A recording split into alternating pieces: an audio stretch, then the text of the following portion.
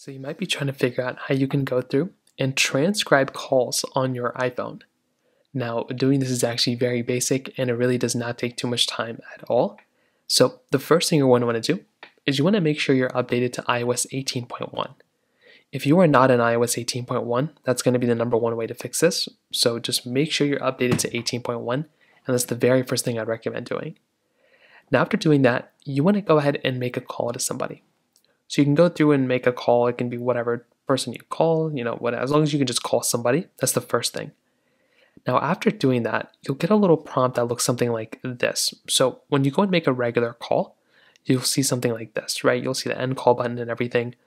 What you want to do is in the top left corner, there's going to be a call recording option that comes up. So all you're going to have to do here is basically tap onto this call recording option that comes up right there. It's right up here in the top left corner, and you want to tap on it. Now, after you tap on it, it's going to start recording the call. Now, at the very top, there's going to be a little option that actually allows you to take notes on this call. So if you want, you can actually just tap onto the take notes on this call portion. And what that's going to do is it's going to start recording your actual call, and then it's going to start actually making notes of your call as well.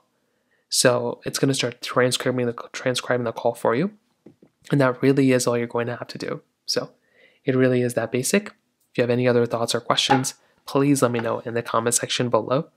Hit the like button, that would mean so much, but definitely hit that subscribe button. More importantly than everything else, I love every single one of you guys. Hopefully I'll catch you guys in the next video. Peace out.